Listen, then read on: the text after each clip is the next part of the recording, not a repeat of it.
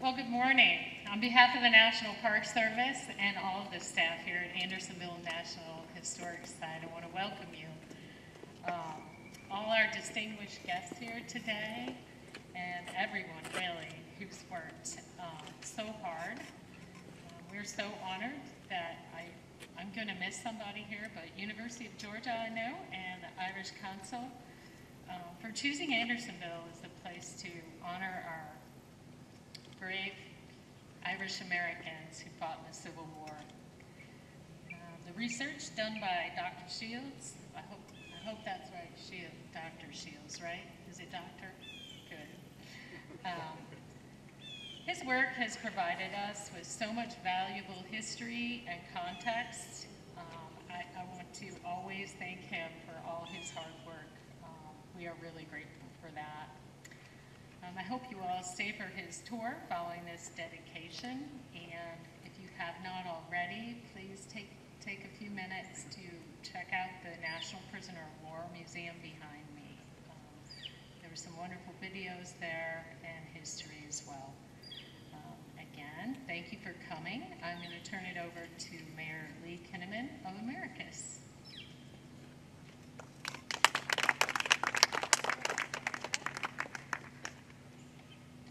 thank you so much for, for being our hosts here. We're, we're so grateful to the National Park Service for all the support you've given us.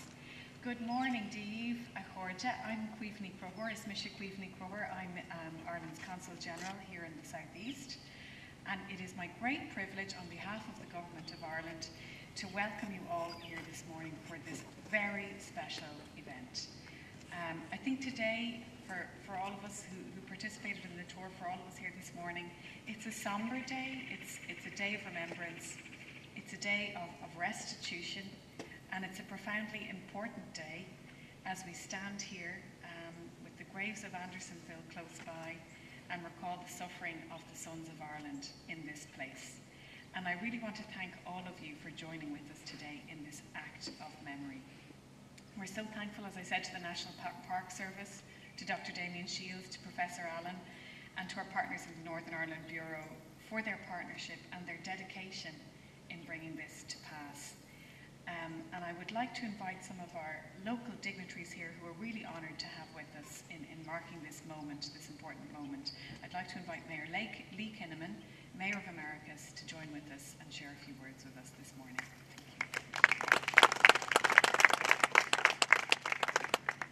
Thank you, Thank you so much. What a great honor it is to be here today as uh, we gather to remember the Irish, the sons of Erin who died here, sacrificed their lives in the war to end the disunion and to end slavery. And it is an honor for me, especially because I myself descend from Irish stock, as most of us do. Probably everyone here has some Irish blood. Whether you do or not, you probably claim it on St. Patrick's Day, a day we all wear green and drink green beer and actually do more, I believe, than is done in Ireland typically. but I'm sure that uh, you feel what I feel about if you're here today, and certainly if you have that Irish blood coursing a, great sense of connection uh, to Ireland. I'm sure many of you have been there. I took a trip not too many years ago and fell in love with the country. It was the first time I was there. And dearly want to go back and uh, spend time there. I was saying earlier, that I felt a strange connection. And after I did my DNA test through Ancestry.com, it became clear why I had that feeling uh, with the percentage of Irish blood from the southern portion of the Ireland, uh, Ireland from the island, and the north as well. Um, we descend in, from many Irish on both sides of the family. So I'm grateful to be here and to welcome you to this great event also to welcome those of you who stayed in Americus. I was unaware that you were staying in the Windsor Hotel in Americus. We're grateful that you stayed there. Um, I'd like to recognize Mr. Sheffield Hale, who is uh, a, a son of Americus. He come he comes from deep Americus stock, as do I, and uh, we're grateful to have him. He is the executive director of the Atlanta History Center, and um, is uh, has been affiliated with history and historic preservation, I think, for most of your life. And we're grateful to have you here in Americus and in Sumter County. So on behalf of the City of Americus, the county seat of Sumter County, I welcome you and express my deep appreciation uh, to the Consul General and to the dignitaries from Ireland who are here for this uh, important event. Thank you so much, and uh, I'll turn it over to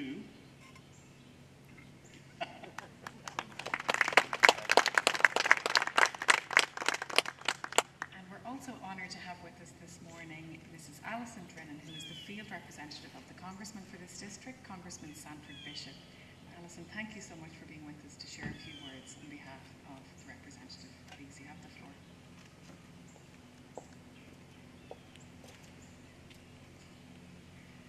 Ladies and gentlemen, distinguished guests, it is an honor to be here today on behalf of Congressman Sanford Bishop as we gather at the Andersonville National Historic Site to commemorate the Andersonville Irish Project and the unveiling of this memorial plaque.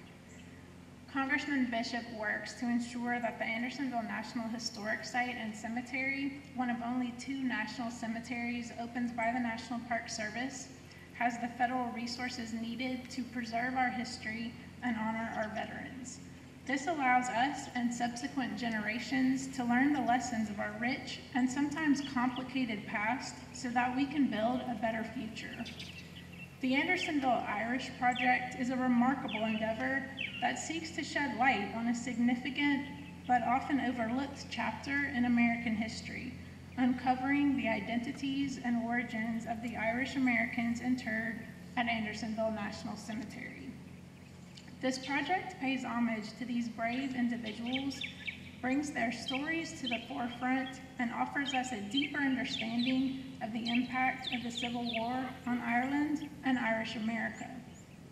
Congressman Bishop shares appreciation for those who have made this work possible, including Professor Nicholas Allen of the Wilson Center for Humanities and Arts at the University of Georgia, the Consulate General of Ireland in Atlanta, and the Northern Ireland Bureau, the dedicated staff at Andersonville National Historic Site, and Irish Government Minister Darragh O'Brien. This initiative is another demonstration of the deep connections between Ireland and America. It reminds us of the sacrifices made by the Irish, um, by the Irish American community in shaping the history of this great nation. The memorial plaque being unveiled today is a testament to our commitment to preserving and honoring their legacy. Thank you for your hard work to recognize and celebrate the memory of these brave Irish Americans whose story continues to inspire us today. Thank you.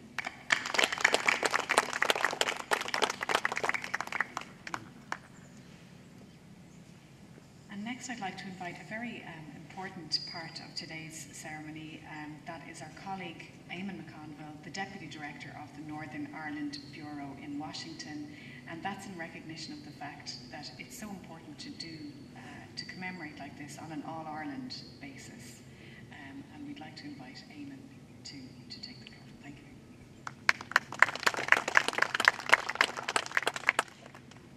Uh, Thanks very much, Quiva, and um, just really want to echo much of what Quiva and the Mayor has said. Um, as somber event, it's also um, an opportunity, I think, to to recognise the strong relationships between the island of Ireland and, and America. Um, you know, uh, the Mayor was talking earlier about the, the railroad, and I know that Sheffield has done plenty to make sure that Americus is recognised in, in, in that journey, and obviously the Irish were a big part of building that network, uh, as well as the, the cities and towns across the US. Um, I think we can claim 24 presidents of the US now with Irish roots, and about 19 of those with Scots-Irish, Ulster Scots tradition. Um, and I know that that's particularly strong here in, in Georgia. Um, I think it's also important to say that uh, the US's relationship with Ireland is particularly important for ourselves. I think in this, the 25th anniversary of the Belfast Good Friday Agreement, I think without the US's assistance in that, you know, we're, it, it's something that we're so grateful for. Um, Northern Ireland's now one of the most peaceful places in the world. Um, and I- we hope, I know that uh, the mayor has been, and I know that John is going soon to uh, play a bit of golf there. So uh, you're all very welcome uh, to, to come along and uh, visit Ireland, North and South. Thank you very much.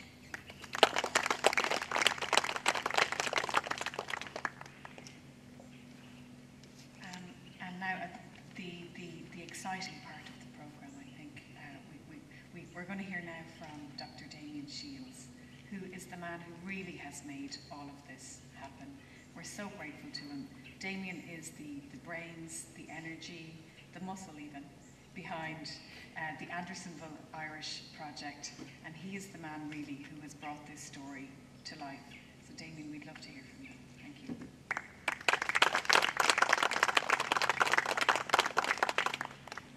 Uh, thanks, thanks a million. How I get on with this now. This is a, particularly special day for, for, for these, these guys. Um, as we've discussed a, a bit already, the, the project commenced in, in an effort to try and identify the men who, who interred in Andersonville National Cemetery. This is the site that has the most Irish Americans who died in a single spot in the Civil War. And because of the fantastic work of Dorence Atwater and because of the preservation of the site and the work of people like in the National Park Service, so many of these names have been recorded and maintained in the National Cemetery that it creates a, an, an incredible opportunity both to remember them and also to assess and analyse the scale of the impact of the American Civil War on Irish people. It was a project that started back in 2020, as I say, with the aim of trying to identify Irish Americans who died here. But in October 2021, it brought me to what you might first consider to be a fairly surprising location when I found myself on an isolated, lonely stretch of country road on the Irish Atlantic coast of West County Clare. Unlike a lot of rural roads in Ireland, this one had a name. It was called the Seafield Line. It's a beautiful setting today. I would recommend you visit West Clare if you get an opportunity. But this particular road has very dark origins. The Seafield Line was one of the notorious famine relief works, designed during the worst days of the Great Irish Famine to provide what was an ever-growing number of destitute poor with employment. Back in 1846, 120 desperate men were given work on the Seafield Line to try and feed his family. One of them was a man named Miles Maloney. But in the famine, conducting heavy manual labour was poor fare for someone whose body was weakening in a famine-ravaged West Clare. On the 3rd of April 1847, a year that is still known in Ireland today as Black 47, Miles Maloney was struck from the works register, another fatality in what was turning into a sea of death. But in those days, there was little time for sentiment. His place on the Seafield line had to be taken, and it fell to his son, Owen Maloney, who was 14 years old, to take it. Owen worked on that line until it was finished. He, his mother, and his siblings then survived on outdoor relief from the local famine workhouse. But slowly, slowly, Owen helped them to get a measure of certainty back in their lives. He took farm labouring jobs where he could get them, supported his mother by scrimping and saving, and through the 1850s, as it wore on, he finally got enough to buy a precious ticket for America. At last, the family's future seemed bright. He got employment in the United States when he arrived there in 1860, and money started to flow back to West Clare. Then the war came. He, along with another quarter of a million Irish Americans, enlisted. He marched off with the 6th New Jersey Infantry on the 7th of November 1861, a march that ultimately brought him here to this place, to Anderson uh, pri- pri- Prison, where on the 14th of July the death he had so narrowly escaped during his youth in Ireland finally got its clutches on him. He's still here, just over there, resting in grave 3284, among hundreds of other Irish immigrants whose hopes for a future for themselves and their families were dashed behind the Andersonville stockade. Sorry. There are a few stories from the American Civil War that so readily and so forcefully demonstrate the links between mass Irish emigration in the mid 19th century and the American Civil War than that of Owen Maloney. For tens of thousands of Irish, be they soldiers, or the wives of soldiers, or the parents of soldiers, or the children of soldiers, the conflict between 1861 and 1865 was the second great trauma of their lives. For some, like Owen Moloney, it brought the bitter irony of death at the hands of the same want and disease that had already ravaged their families during the worst days of the 1840s and 1850s. We are here today to remember these men and their families, to remember what the war cost them, and importantly, to remember their links to the island of Ireland. As emigrants who by and large never returned to Irish shores, those are links that in Ireland, in contrast to here in the United States, have faded with the passage of time. And it's fair to say that we've not always done enough in Ireland to tell their story, to remember their experiences, and to remember that great second trauma. This is why this is a particularly special, important, and poignant event. Given the recognition these men are receiving today from representatives not just of the United States, but from across the island of Ireland. I'd personally like to extend a special thanks to Minister O'Brien, to Deputy Director McConville and Consul General Nick for, for visiting these men's final resting places and for playing such a vital and important role in realising the dedication of this memorial plaque. I doubt that any of us would be standing here today without the tireless efforts of Professor Nicholas Allen, Director of the Wilson Centre at UGA, who's worked so hard to make this happen. And similarly, and I feel this every time I come to the, uh, America, about the National Park Service. What an incredible institution it is. Um, Superintendent Gia Wagner of Andersonville, um, Charles, Jody, all the team here um, deserve great um, acknowledgement for their ongoing work on the site, their efforts in assisting the Andersonville Irish uh, project since its inception. I have had the visit, privilege to visit many national parks around the United States, um, particularly Civil War ones, and my admiration and respect for the staff of the Park Service uh, just grows every time. As we speak, the number of Irish Americans we've identified at the National Cemetery is closing in on 900 men. It was 850 when, when, when we were speaking just a couple of weeks ago. It will soon breach 1,000. The work of that project is undertaken uh, largely on a volunteer basis, but we would never have gotten this far without the assistance we've received, both from the National Park Service administered Prisoner of War Research Grant, made possible by the generosity of the Friends of Anderson, Andersonville, and that of the Irish Department of Foreign Affairs through the Irish Consulate General in Atlanta. These are grants that have been absolutely instrumental in allowing us to conduct the primary research that's necessary in order to identify these men as Irish American. I'd also like to take an opportunity to thank the members of the public who have come forward so far with contributions to the project, especially as they are often recounting details of one of their ancestors who perished here. A very special note of acknowledgement goes to my friend and colleague Jackie Bedell, herself a descendant of Sligo immigrants, who's been volunteering her, her spare time in huge hours to assist in identifying the origins of dozens of the men interred in the National Cemetery. Even as we mark the dedication of this plaque today, the number of identified Andersonville Irish it remembers will continue to grow as the project proceeds into the future. These discoveries continue to emerge on an almost weekly basis, and I want to leave you with a letter that Jackie uncovered less than one week ago, composed by an Irish immigrant woman called Anne Hand. She was the illiterate wife of 5th New York, Infant, uh, or 5th New York cavalryman Lawrence Hand, also an Irish immigrant. Today and now may well be the first day since 1864 that this letter has been read aloud. And I read it. Sir, please excuse a poor soldier's wife for troubling you, as I have heard nothing of my husband since December 29, 1863. He was a prisoner of war since July the 6th, 1863, and I am in great distress, myself and my family, and we have had sickness and distress, and I am very uneasy for to know whether my husband, Lawrence Hand, is dead or alive. He belonged to Company C, 5th New York Cavalry, and was taken prisoner of war in July 1863. I have never heard from him but once since. He was taken prisoner, and for the love of God, let me know whether my husband is dead or alive, for I have a family to support, and the paving streets of New York will not support us. No more at present, from Anne Hand, wife of Lawrence Hand. Unbeknownst to Anne, Lawrence Hand had died here on the 15th of May of 1864. He's buried in grave 1104. Today we remember Anne, we remember Lawrence, we remember their son James, and all the Irish Americans from our island whose lives were forever altered by events on this small patch of Georgia countryside.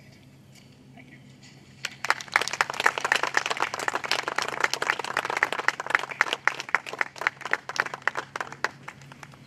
Damian, that was so beautiful, and I, I know how meaningful and how personal this is to you. And I just really want to thank you from the bottom of our hearts for, for allowing us to understand that as well. I really, really thank you for everything you've done. I know this has been the, your life's work, really. So thank you, and I'm so pleased that we can do this together today. Um, next, friends, I'd like to introduce you to um, our, our, our guest of honour this morning, um, Minister Darragh O'Brien, Minister for Housing, Local Government and Heritage of Ireland, who has travelled here to be with us today to inaugurate this, ver- to dedicate this very special plaque. Minister. Well, Dave good morning, everybody. Uh, uh, dear friends of Ireland here in Georgia, and dignitaries, Mayor Lee Kinnamon, um, Congressman Bishop's representative Alison Drynan, my good friend, State Senator Mike Dugan. It's great to be back here in Georgia again for my second time this year. And I'm really immensely honoured uh, to be here today with Queevany Croher, who's a wonderful representative of of the Irish government out of, out of Atlanta, and she's a magnificent team here to our hosts in the National Park Service. I thank you so much for uh, your warm welcome here uh, today. Uh, we're certainly honoured uh, by your presence, and I've had, like many Irish, as the Mayor have said, I have many uh, family here in the United States, and I've travelled across this great country and visited many of the national monuments and national parks, and I know you're rightly proud of the work that's done uh, by the staff in, in, the National Park Service. But I am immensely honoured to be here today, uh, and it is an historic moment to dedicate this plaque in memory of the Irish and Irish Americans who suffered and died here in Andersonville Prison during the American Civil War. And that was brought really real to me, and I'm sure to everyone who walked with Damian and Nicholas around this historic site. Um, with Eamon, I should have recognised you're a rep representative from the Northern Ireland office, Eamon. Great to have you here too. But it really did come uh, to life, um, if that's not in itself an oxymoron, but really you could feel it. You could feel the thousands of people who were here, the suffering uh, that they endured. Um, and the, this place is treated with that solemnness, I believe, by uh, the custodians uh, here. So it, it is absolutely an immense honour. We're proud as the Government of Ireland to support the groundbreaking work led by Dr Damian Shiels to recover the untold story of the Irish in Andersonville. And we thank his committed partners in these efforts, including Jackie Bedell, Professor Nicholas Allen uh, at the University of Georgia. Sincerely thank you. National Park Service, as I've said, and our friends at the Northern Ireland Bureau. This is a really important day for Ireland in this small part of of South Georgia. Uh, and it's an important day for Ireland in the United States, and in the southern United States in particular. It helps to complete our understanding of the relationship between Ireland, its diaspora, and the United States, and our understanding of the role played by our diaspora during the American Civil War. Most of all, though, it is a day to honour the memory of those who died here some of the testimonies that Damian has read to you here this morning. But really to restore them the dignity of remembrance, to name them and to root them in their home country. Apart from World War I, more Irish were actually engaged in the American Civil War than any other war in modern history. And that is a fact that speaks to the interconnectivity of the American and Irish people. The American Civil War, we all know, but we should remember, occurred in the aftermath of the peak of Irish migration to the United States. And in the 19th century was really a century of uprising, of poverty, of oppression, of hunger, of death. And our nation had been devastated by An Gorta Mór, the Great Famine. It's estimated that almost 1.8 million Irish people emigrated to this great country between 1845 and 1855 alone. And those men, women, and indeed their children arrived in the United States at a turning point in history for this country as the country found itself on the brink of a bloody conflict, conflict that would define its future. As has been mentioned already, it's estimated that a quarter of a million Irish Americans fought for the Union, 180,000 of which were born in Ireland, and a further 70,000 children of Irish-born immigrants. This represents almost 10% actually of the United States wartime military. Irishmen also fought for the Confederacy, as you know, in, albeit in smaller numbers.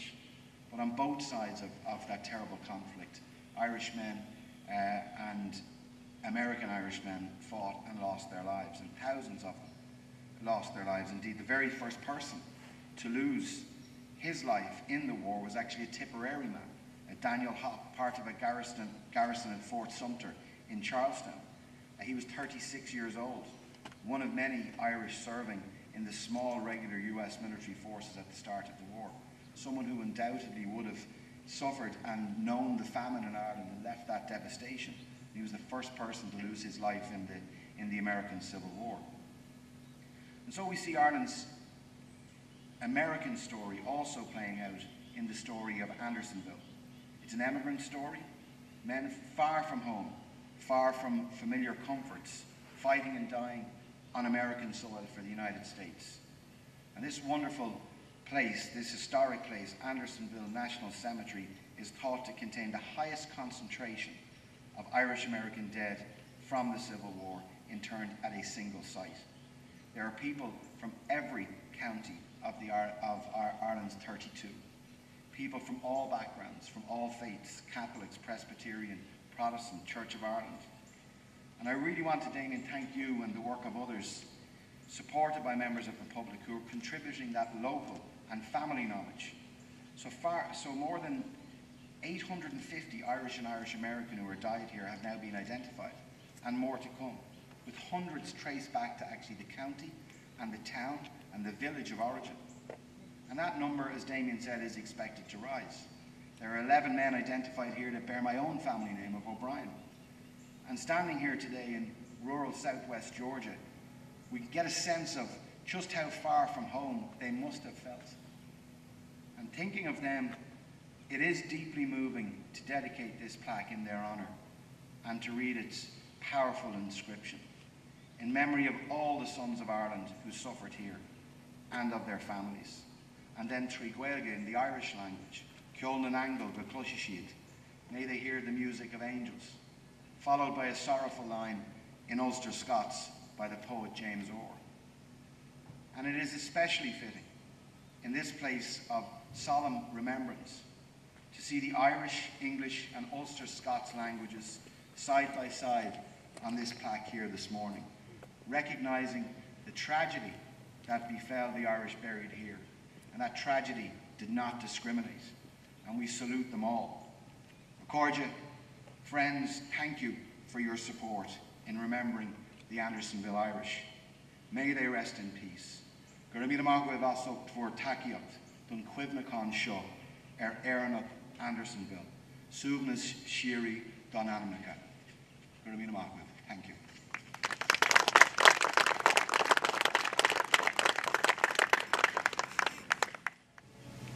I have been wondering over the last weeks and months of what words might speak to today, a day of such historical and geographical and cultural and linguistic and family depth. And I remember that the first time I came here a decade ago to go and see President Carter give Sunday school, we came and visited Andersonville Park, and I thought how far away it seemed from anything I knew. and I knew at that time nothing about the Irish who were here. So one of the reasons that I was dedicated to helping in my small way this plaque come into being here at the park was to try and reduce that distance, to try and reduce that sense of solitude and loneliness. I'm still not quite sure of the word that we should think of. Commemoration, perhaps. Restitution, perhaps. Witness, perhaps. But certainly in witnessing this long line of service, and it's very powerful to me as someone who is an Irish and also an American citizen to see this line of service to the United States to which the Irish have not been visibly added. It's a powerful part of the narrative. Just to think about that sense of accommodation and belonging and witness and remembrance. And I wanted to say too that in having come from a Ulster Scots, a British background, and having become a citizen of the Irish Republic, and being very proud and grateful of that, how powerful it is to me that these men who left forms of injustice and oppression to try and find a new form of liberty in this republic are now remembered by an Irish republic. How could they possibly have imagined when they left in the 1840s and 50s and 60s that the island of Ireland would look as it does now?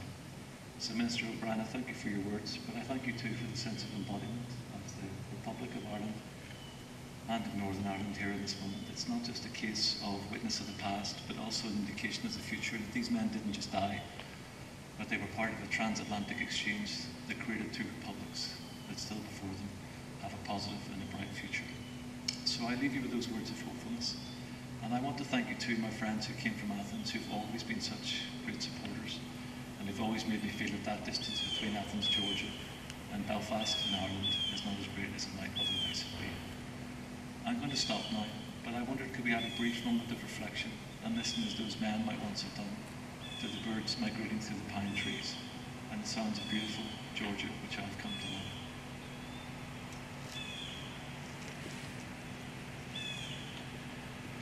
Thank you all very much.